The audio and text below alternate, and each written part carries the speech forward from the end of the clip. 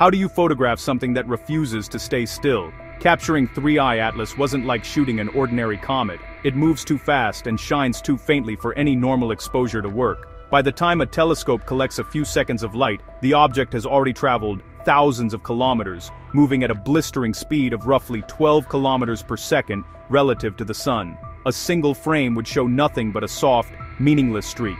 To overcome that, as orbital dynamics expert Davide Farnocchia can attest, the telescope had to chase it.